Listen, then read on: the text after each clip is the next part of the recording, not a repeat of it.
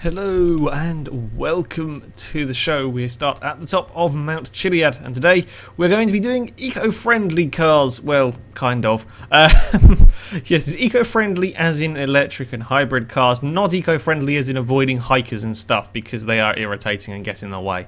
Uh, anyway, we start with, as I say that, yeah, go away. I give up sometimes. Uh, we start with the Voltic. This is essentially a Tesla Roadster uh, with a bit of Lotus thrown in for good measure, although the real Tesla is based on a Lotus as well. So yeah, basically a Tesla Roadster. Uh, this is one of the best handling cars I think I've driven in the game. Uh, at least on tarmac, it's very, very good on tarmac. It almost have bikes levels of grip uh, when you're driving around the cities. It's so good, in fact, that this is what I'm going to buy next in GTA Online. It really is excellent, excellent handling car. I think it's one of the fastest accelerating cars. Hasn't got the top speed of the Adder, but uh, it's an incredibly fast accelerating car. As far as off-roading goes, there are a couple of problems. While uh, in theory, these cars should be quite heavy because they have an awful lot of batteries in them, so they shouldn't bounce around because of being exceedingly light. This does have rather low ride height. Uh, that was a very, very impressive flip I managed to do there and then promptly fluffed it up uh, a second later. Yeah, this car has very, very low ride height, and that means that when it goes over the bumps, it gets bounced around quite a lot, which makes it very, very hard to drive as you can see there.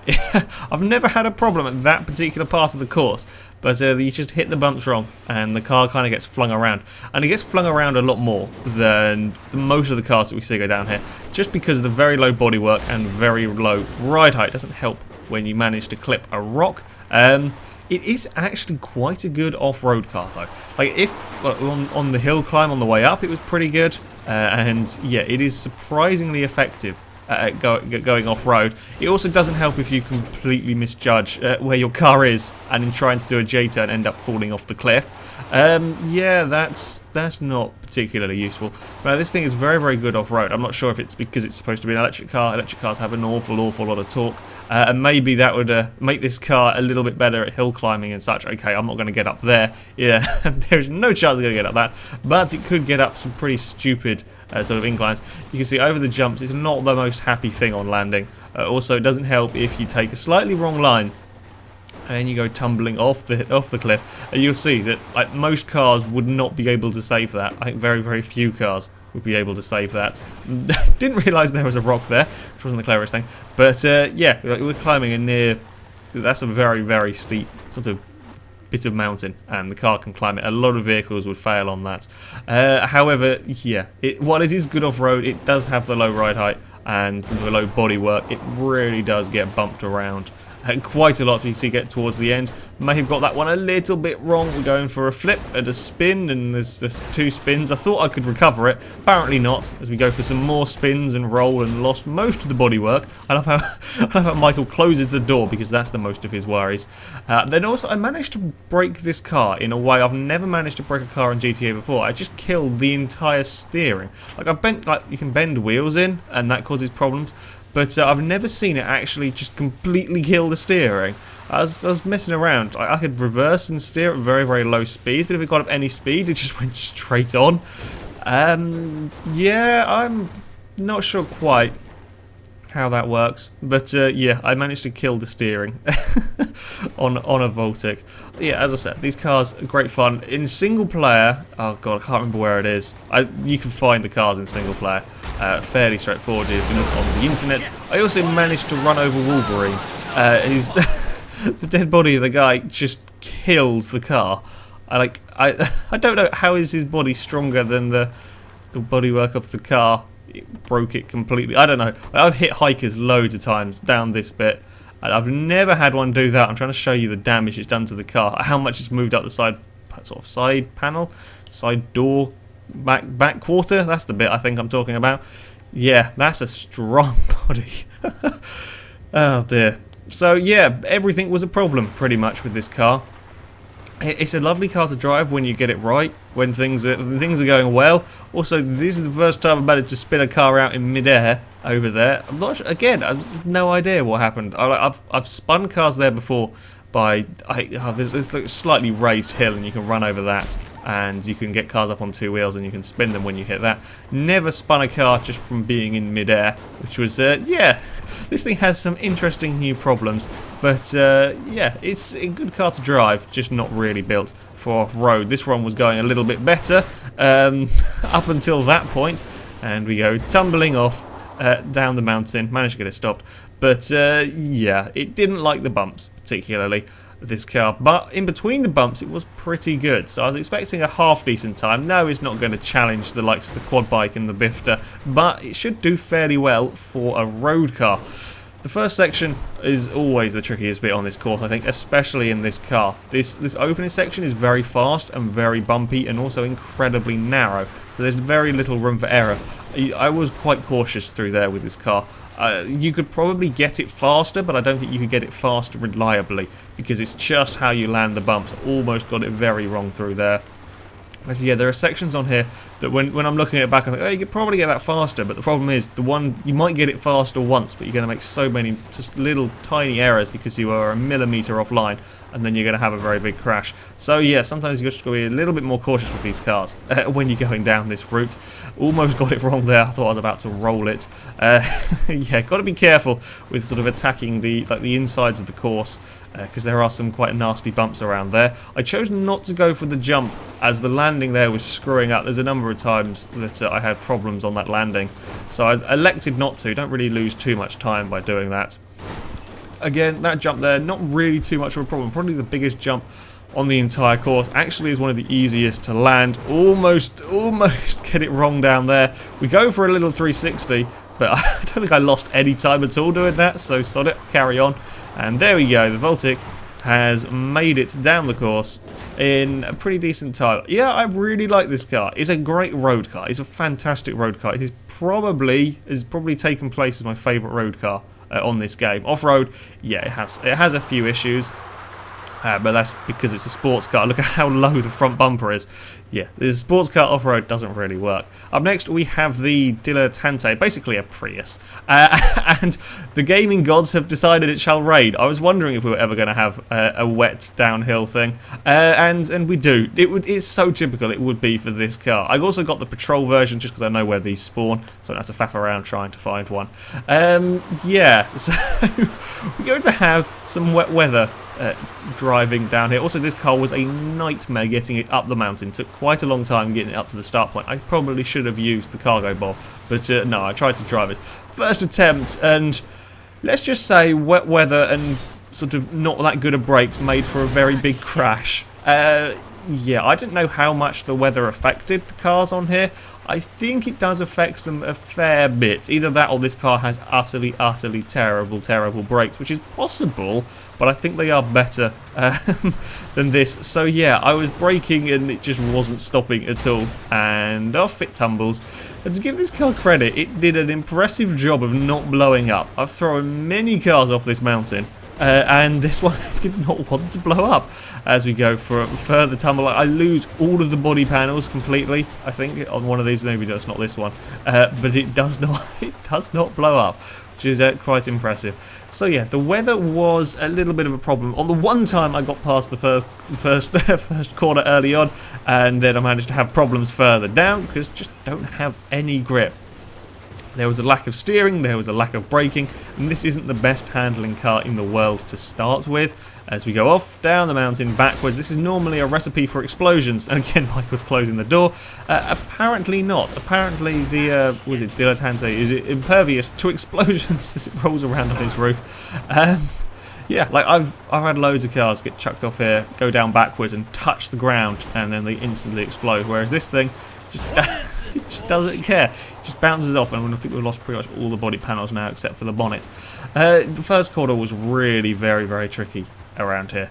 It's ooh, the rock again. You can't take you can't take any sort of leeway over that rock because it will screw you up on the landing. Tried to save it and ended up driving into a, into another rock further down. Yeah, the first corner is very challenging because it is downhill. It is very fast, and with all the weather, I'm pretty sure I just jumped over a cougar there. With with all the rain and the not amazing brakes to start with, it was proving quite a challenge. this car isn't terrible to drive. I've had worse trying to drive down off-road again. No, we're not going to get stopped. We're going to go soaring over the jump. That's not going to end particularly well. And off we go.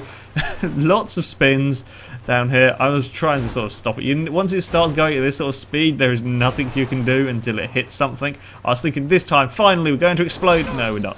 It's That's a pretty damn hefty crash and the Prius, the, whatever the thing's called, has has not exploded. God damn it. Uh, anyway, it was the next attempt, I believe, that I actually got a clean run, which was amazing considering I'd spent so much time at this sort of first section, because I was having to be so cautious down here. This was so, so treacherous, uh, trying to get that right. And again, down here, because you've got all of these fairly fast sort of jumps, is when, when you land and it's in the wet, the car likes to skid around. Also, this is a road car after all. So, yeah, this opening section was very, very tough to get right. So you can see I almost outbrake myself there. And that was me being fairly cautious um, on the brakes. Things go a little bit wrong there. I managed somehow to get away with that. Normally, if you do that, you end up just sliding down the mountain and you can't save it. I got very, very lucky there. Yeah, I, you could argue it's a little bit cheaty, but sod it, it's in the rain. I've probably lost far more time uh, being cautious because of the rain than I would have gained from that little bit. Again, like I think when I got to this point, I hadn't driven this part of the track because I'd had so many problems with the opening bit, so I didn't quite know what I was doing. It was a case of just be a little bit more cautious than you would normally and hope that the car will stay on the road to be fair, it did, considering everything was thrown at it, it was doing a pretty good job. Uh, of course, this isn't the fastest car in the game. In fact, I think, if I remember reading correctly somewhere, this is one of the slowest cars you can get in GTA. Like, slowest normal road cars, you know, excluding some of the silly vehicles. Um, so, yeah, it's not going to set the quickest of times, even if it was in the dry. But it was doing a fairly good job. It wasn't having as many problems with these bumps as you were having uh, in the Voltic just because it's got a little higher ride height, uh, a little bit better suited for this kind of thing. And around the final corner, got very nearly, nearly fell off the edge, managed to save it, and there we go. The Prius has made it down the mountain. Yeah, it did a good job. I mean, considering everything we're throwing at it, it made it to the bottom without any any major catastrophes. Now, the car hadn't blown up, so I'm, I'm, I'm thinking that you guys would probably like to see that. So we'll get a fuel can, and we'll put some petrol uh, around the car. You've got to make sure that... Uh, it was set on fire properly because uh, I was expecting this car to explode many times. It's well known for being a very weak car as well. But uh, no, it didn't want to do that. So when we were throwing it off the mountain, we've had this thing survive pretty damn well when I did the hybrid off-roading challenge. So we're going to have to get rid of it, um, and it should have a fiery death. Probably wasn't the cleverest thing getting out of the car in the middle of the storm, but never mind. We shall have uh, a roasted Prius. I think that's very Christmassy. I'm not sure. Uh, there we go. Prius explosion, and yeah, I'm, I'm, sure everybody would have wanted me to do that. So I go over to investigate the car, and the car has the final laugh, pretty much. I may have got a little bit too close, and it set me on fire. Well, the, yet again, we have been beaten by, by a blooming Prius or equivalent. So, for the final vehicle, I was going to use the Surge. I can't remember what manufacturer it is. Uh, yeah, I was planning on using the Surge. I could not find a blooming thing anywhere. I ended up swapping characters and was messing around trying to find the damn car. Couldn't find it. So, instead, I'm going to use a mountain bike.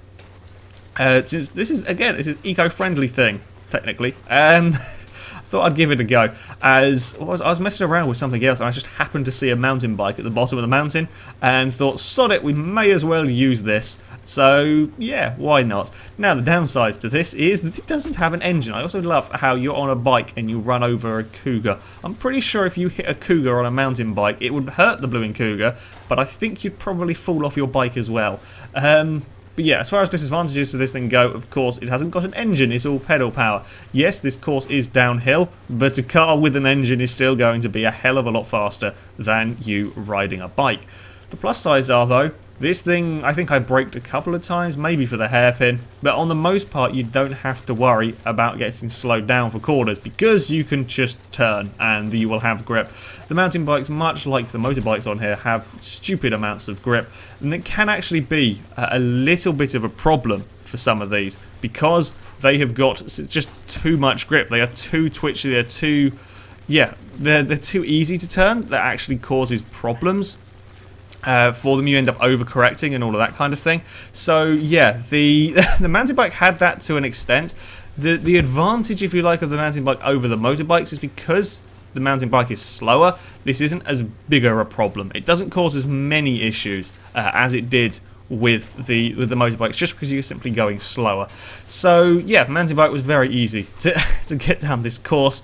Uh, there was much frantic pressing of A button, but it made it all the way to the bottom of the mountain on its first a try, first a try, first attempt or try. Either word would have done would have done in that situation. I tried to use both at once. Um, yeah, it made it down the mountain very easy to get down there. Took quite a while getting up to the top. Again, much frantic pressing of A button, but there we go. So that is it for the eco-friendly vehicles. Um, as far as the time goes, the Voltic goes into fifth with a pretty damn impressive time of 127.36, slightly faster than a Kalahari. Yes, the Kalahari is much easier to drive off-road than the Voltic. The Voltic is very good uh, on the road. Uh, yeah, it has a little problem with bouncing around, but it's an incredibly fast accelerating car, which makes up uh, for part of the times you have to be cautious uh, with some of the corners. As far as the Prius, uh, that goes down into 14th uh, with a 144.7, while the mountain bike amazingly beats the Prius. That's, well, to be fair, the Prius will have a little wet symbol because it's the only one that's gone down here in the wet, and that is a bit of a disadvantage. Um, again, mountain bike, yeah, pretty pretty good time, not quite as fast as a limo, four seconds off off that of a limo, but considering that's just pedal and gravity powered, yeah, that does pretty damn well. Anyway, that is it for this video, guys. So thank you very much for watching. This weekend there was other stuff planned. I've, I've had so many blowing technical problems and things are broken. I just haven't had the time to get them sorted. There will be a Gran Turismo Rally thing coming soon. And there will be a Gran Turismo Will It Roll. I just haven't had time. Well, I recorded the rally thing and the recording broke, and I really haven't had time to do a Will It Roll because Will It Roll is very time consuming. Uh, so again, next week, some point, maybe maybe as a Christmassy specially thing, maybe we'll have a Will It Roll. I don't know quite how things are working. Um, but yeah, I will try. I'm trying my best to sort the blooming computer out. It's actually the computer. It's the blooming capture card and Audacity that are having problems. So yeah, uh, that stuff is coming. Be patient. It will be here at some point. However, that is it for today, so thank you very much for watching. If you have suggestions for cars or for kind of categories of cars you would like to see me do on Downhill Chaos, please do leave them in the comments section. I'll have a look through, and the most popular or my favourites will be in a video at some point. However, until next time, goodbye.